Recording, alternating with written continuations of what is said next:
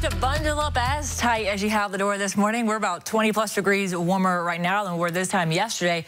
But with that warmth also comes a lot of fuel for some storms as a cold front starts pushing through later tonight. So what we have over the next couple hours is a very warm forecast, even for December 1st. Mostly cloudy in the mid 70s this afternoon for highs.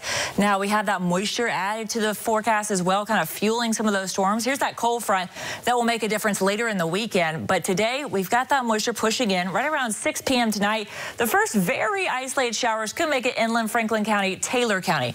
It's later in the evening, Friday night, uh, that we do have more of that widespread chance of rain kind of then pushing closer to Valdosta, that 75 corridor when most of us are in bed at that point. And then a line of storms becomes very strong just to our west. This is where the strongest uh, probability of severe weather happens on Saturday morning. So actually the rest of us across the Big Bend and some of South Georgia get a break from the rain. This is not going to happen a lot this weekend. It's a widespread storm weekend. But as that line starts to get a little closer to the Big Bend and the tri-state area, it looks to weaken a little bit. So I'd keep an eye on that 8 a.m., 9 a.m. forecast. It'll definitely be raining outside.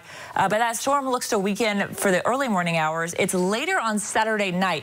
We're going to find that a stronger cell uh, block of storms kind of starts to move through. And that right around 9, 10, 11 o'clock is going to be where we find enough energy to promote some stronger storm activity for us across the Big Bend. There's that cold front. It's going to be driving through later on Sunday, bringing us drier and cooler air, but pushing out those storms. We do have a marginal risk for some of our area on Saturday for that Saturday evening storm system that looks to move in. You know, strong wind, heavy rain, maybe even isolated tornado, especially to our west. Absolutely possible over the next couple of days.